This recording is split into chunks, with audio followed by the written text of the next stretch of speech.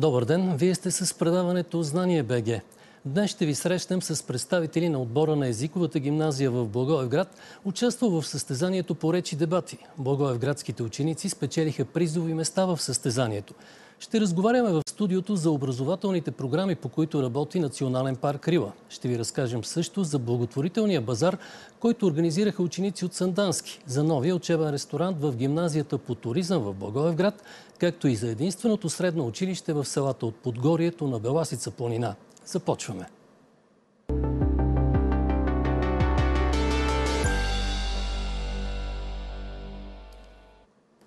В студиото сме с Борислав Мацин от 11 клас и 12-класничката Радостина Бикова от отбора на Благоевградската езикова гимназия по английска реч и дебати, както и с техния преподавател Мария Стоянова. Добре дошли! Здравейте! Госпожо Стоянова, първо към вас да кажем няколко думи за самото състезание по речи дебати. Какво представлява то? Каква е неговата цел?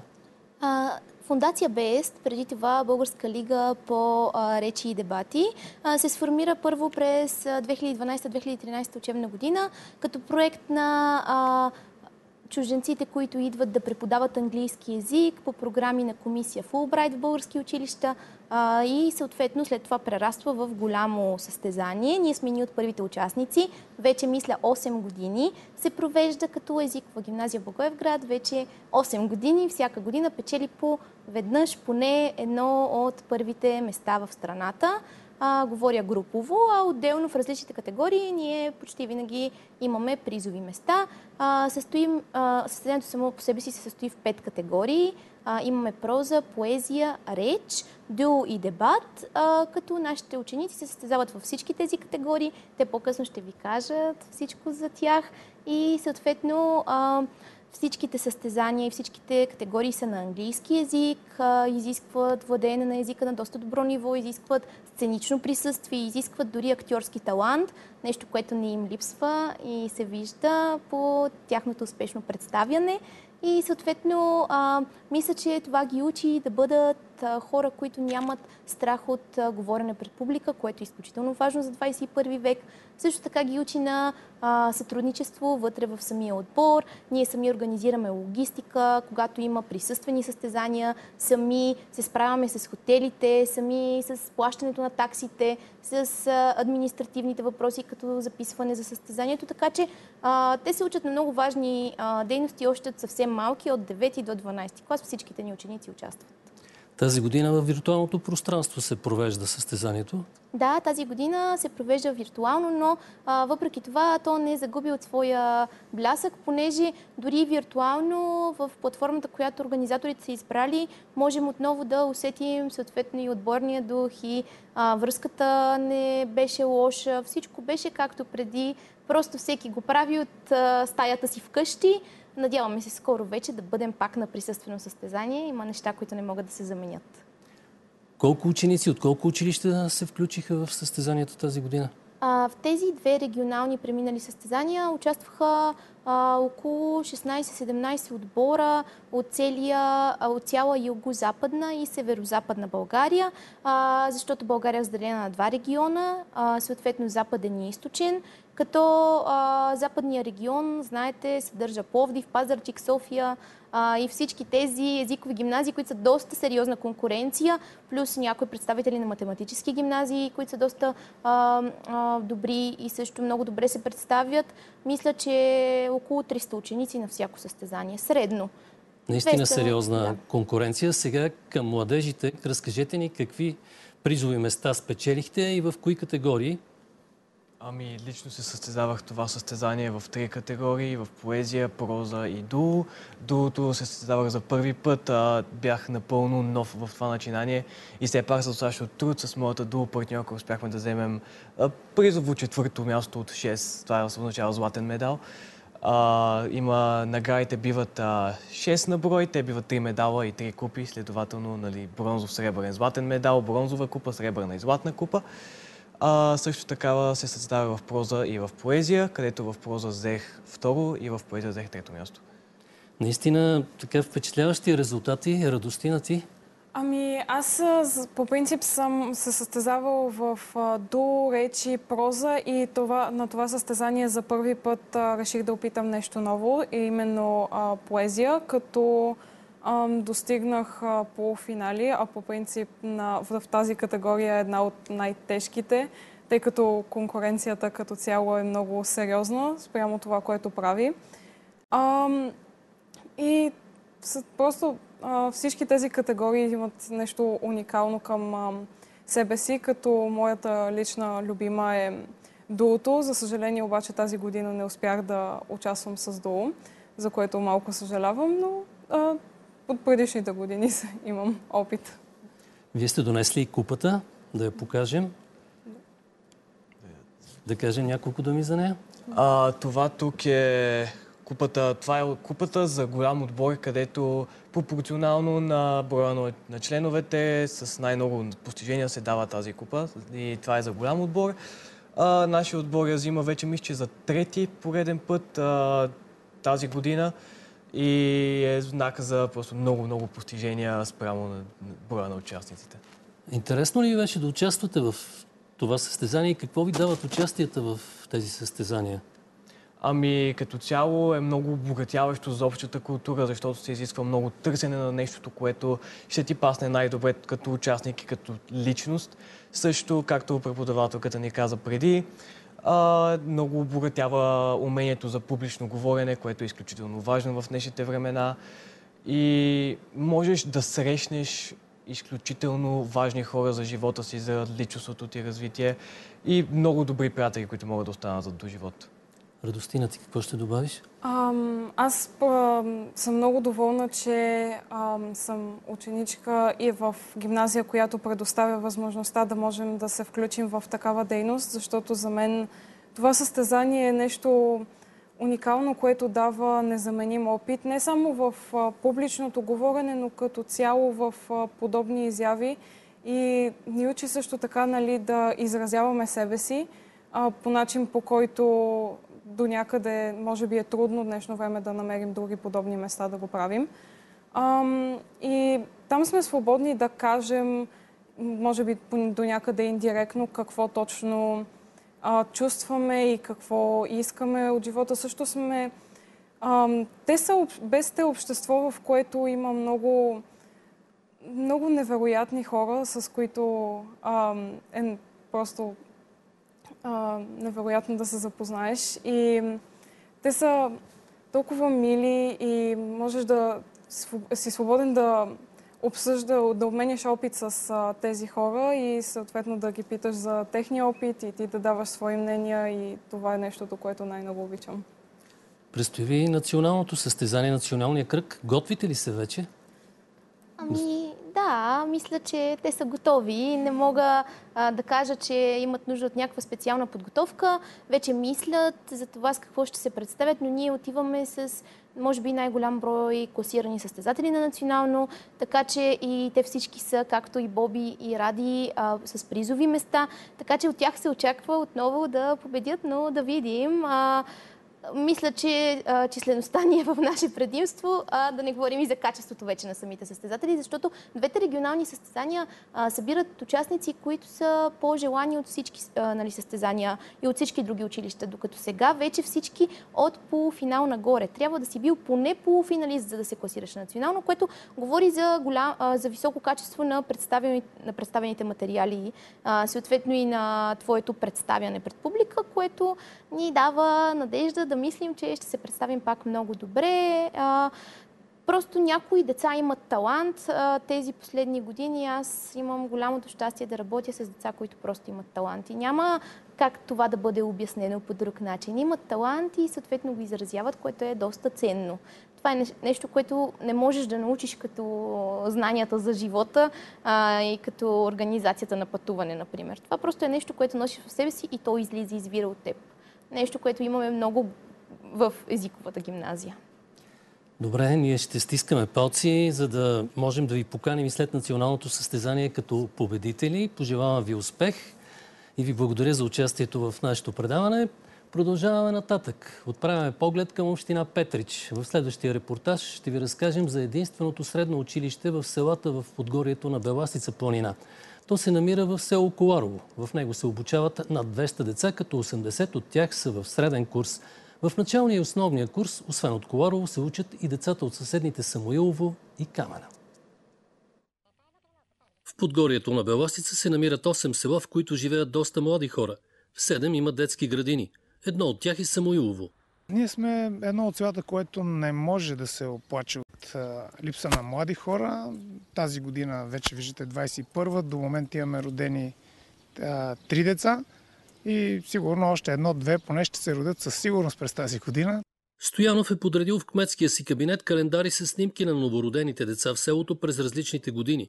Споделя, че в Самуилово живеят над 1000 души, в региона има препитание за младите, има и възможности за развлечения и спорт. Напоследък се наблюдава и голямо търсене на къщи от хора от други райони на страната. Детската градина се посещава от 30 деца. Предстои скоро да бъде разширен дворът и, да бъде изградена нова детска площадка. Училището в Самуилово е работело до 2016 година. След това децата са пренасочени към съседното село. На 800 метра от Самуилово има средично училище в село Коларво. Голямо училище, добре уредено. А, мисля, че и преподавателите са на високо ниво и децата няма от какво да бъдат лишени, няма нищо не им липсва в училището. В Подгорието има две училища в Скрът и Коларово. В Коларово е единственото средно учебно заведение в района. Учениците в гимназиалния етап са 80 на брой и това са ученици от Габрене, Скрът, Беласица и Яворница.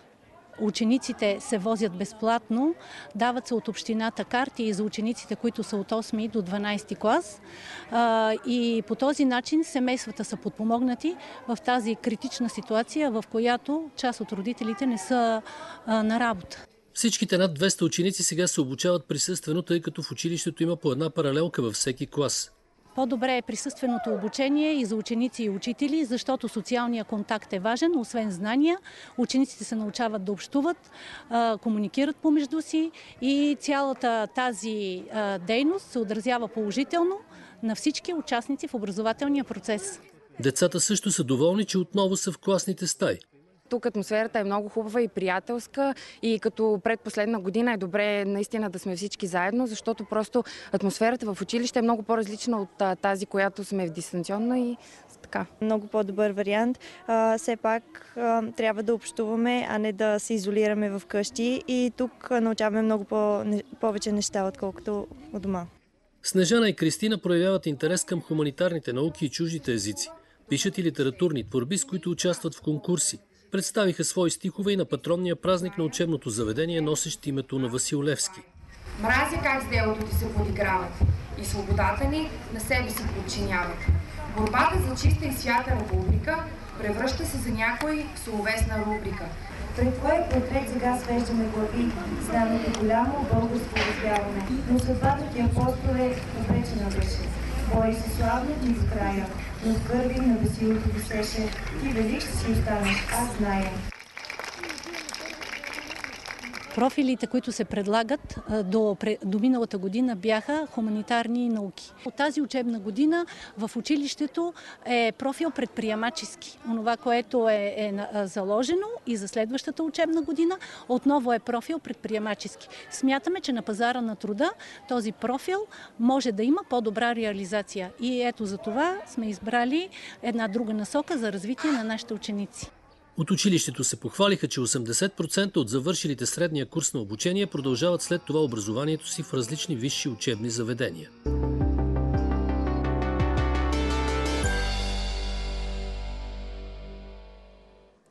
По какви образователни програми с ученици работи дирекцията на Национален парк Рила?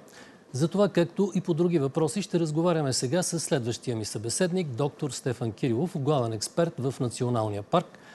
Здравейте, господин Кирилов. Здравейте. Епидемичната обстановка в страната затрудни ли по някакъв начин работата ви по образователните програми? Кои са основните от тях?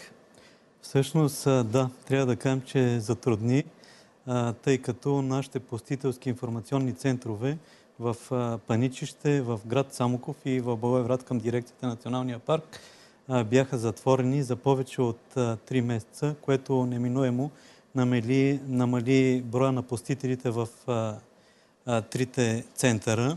Така че тази година, отчитаме 2020 година, 30% по-голям спад на посетителите в трите посетителски информационни центрове. Разбира се, по-малко беседи, по-малко прожекции, по-малко дори инициативи, които са свързани с отбелязване на природозащитния календар от природозащитния алманах.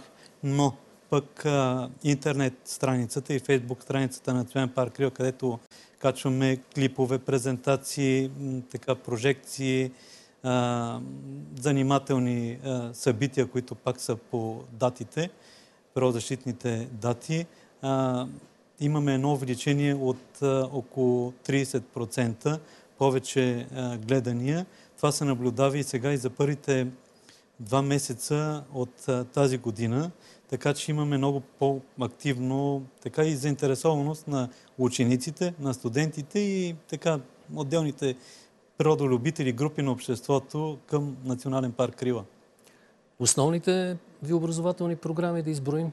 Ами всъщност дирекция на Национален парк Крила изпълнява програма Интерпретация и образование от плана за управление на Национален парк Крила. Това е един стратегически документ. Това е така третата поредна а, така стратегическа програма. Тя включва паркът като класна стая, зелено училище за родители, музеят, а, нали, място, където може да се научи за парка Рио, позната и непозната. Това са едни проекти, инициативи, които обхващат голям брой ученици, студенти и клубни форми, които се запознават и участват активно с Национален парк Рила. Разбира се, тези неща се провеждат в нашите зали, в училищата, тъй като нали, паркът може да бъде и класна стая в училище, но и на терен.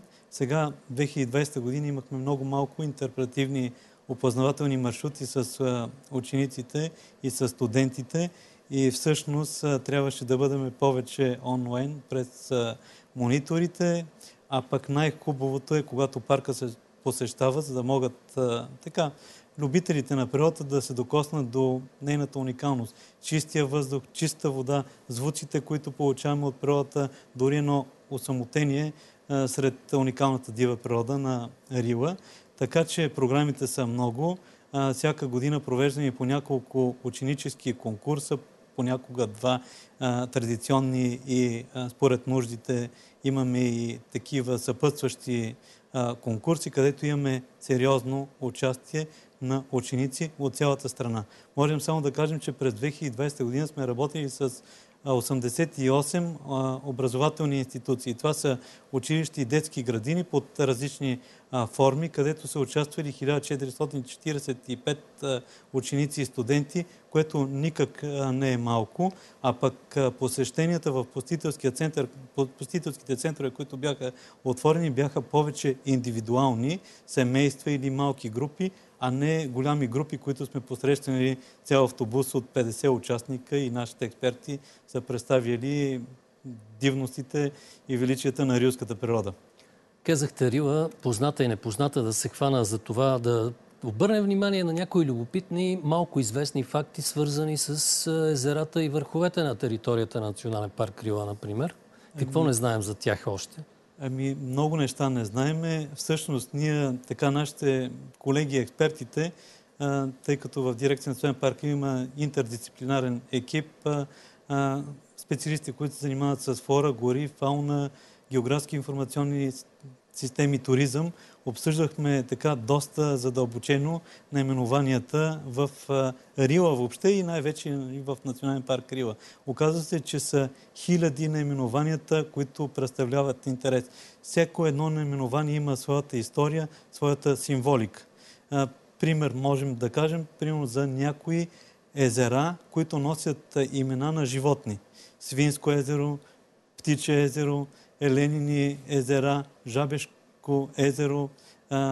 Това, това са едни уникални места в Рио, които може би не са чак толкова познати за така широката общественост. Или пък върхове.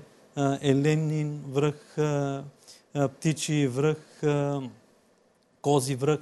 Това са също а, върхове, които а, а, носят своята символика и а, своята история. Може би, защото в Рила е най-голямата популация на балканската дива коза, а това е символът на Национален парк Рила, който е в логото на Националния парк. Има много места, като козята пътека, козята местност или а, козият връх, или пък а, свързани с някои птици, като а, орел, ястреб, сокол. Също много интересни наименования. Те са от годините останали и се запазили, макар че през 1978 година един така, да кажа изследовател Живко Радучев, който проучва Рила, е така заменил на върховете имената, които са имали турски така происход с българските а, наименования. И сега, примерно, можем да кажем, че само Мусала е нали, с име, което е различно от българското, макар че връх Мусала се е казал и връх Сталин. Нали, много да, да, има преди... такъв период да. в миналото.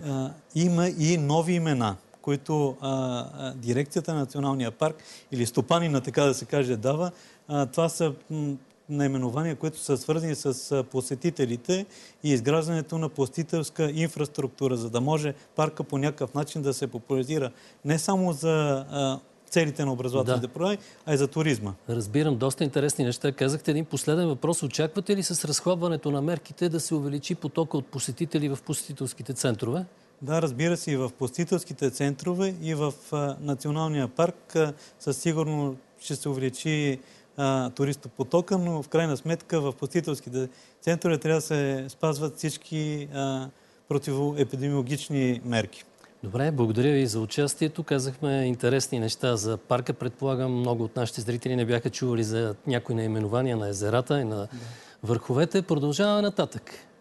В професионалната гимназия по туризъм и лека промишленост в Благоевград официално бе открит нов учебен ресторант. В него ще освояват и усъвършенстват готварски умения ученици от различни специалности. Репортаж на Надя Цинцърска и Иван Терзиев. Дамян и Михаела са ученици в 11 и 12 клас. Споделят, че новият ресторант, който е оборудван професионално, ще им даде една добра основа за по-нататъчно развитие. Ние може да твориме главно всичко, което си пожелаем и докъдето ни стигат, както госпожа Иванова казва, нашите мечти и да си ги избъдваме тук. Много съм очарован и много се радвам, че вече го имаме.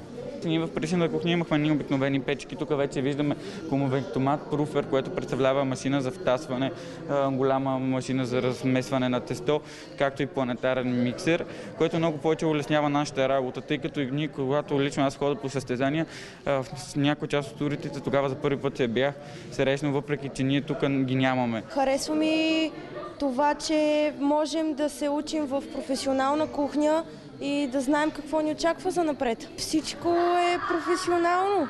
И котлони, и мивки, и оборудване, абсолютно всичко. И е голяма разликата. За училището това е една сбъдната мечта. Горди са, че са успели да създадат един високотехнологичен ресторант, обзаведен по всички стандарти, в който децата ще могат да освояват тънкостите на занаята. На първо време учениците ще провеждат учебните практики в този ресторант, 11 и 12 клас, след което постепенно ще започнем да вкарваме и по-малките и 10 клас. Тук ще е, работят и ще се учат всички ученици от направление хотелиерство и ресторантьорство. Имаме ученици в професия готвач, специалност производство на кулинарни изделия и напитки. Имаме ученици в специалност е, техник, технолог, хранително-вкусовата хлебопроизводство и сладкарство, учениците от кетеринг, всички могат да ползват учебния ресторант. За момента това е единственото училище в областта, което разполага с такава база, в която учениците могат да учат в реална производствена среда. Ресторантът има капацитет да се готви за около 300 човека. От училището се надяват в най-скоро време учебният ресторант да има възможност да работи и с външни хора, а когато това се случи, учениците ще могат да практикуват в реална работна среда.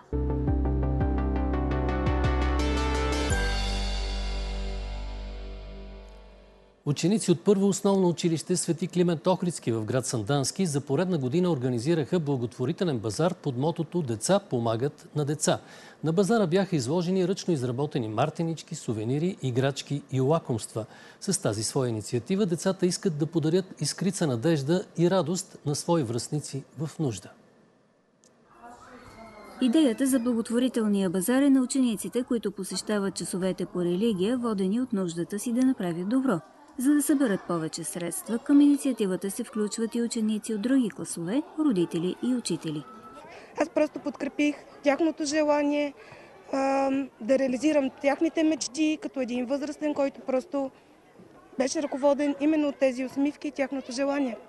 В часовете по интереси те успяха да изготвят много голяма част от нещата, които виждате на базара. Започнахме още в началото на февруари, защото нямаха търпение да дойде денят, в който ще се случи този базар, да го подготвим. Имахме материали от миналата година останали. Те донесоха от вкъщи също. Закупихме отделно тук от училището още и идеята е точно това да, да дарим ние от своите усилия, от своя труд тук в училище. По този начин децата се научават още от малки да бъдат добри и да, че това да помагаш, да ги прави щастливи.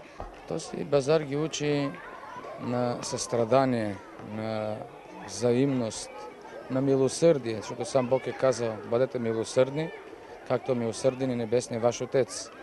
И ние се радваме, на... защото всички деца са добронамерени, те са чисти като ангелчета и са готови да помогнат на всеки. Но определено изучаването на вероучение така дава още един допълнителен импулс, за да може тези деца да бъдат така състрадателни и готови за взаимопомощ във всяки инициативи към всеки нуждаещ се. Както всички деца, които ни радват, нашите деца ни и гордеят. Наистина се чувстваме радостни и горди и това дете да помага на дете е нещо изключително важно.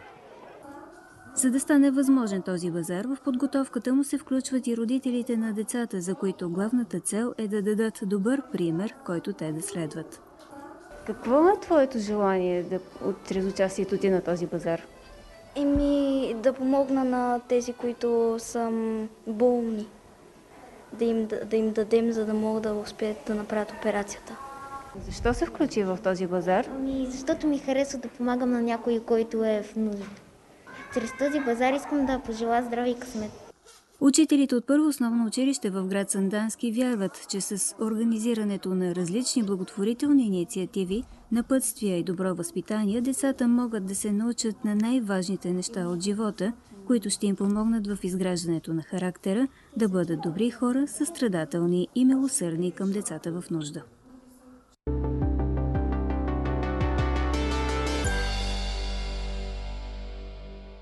Това беше и последният репортаж в предаването ни. Хубав и успешен ден!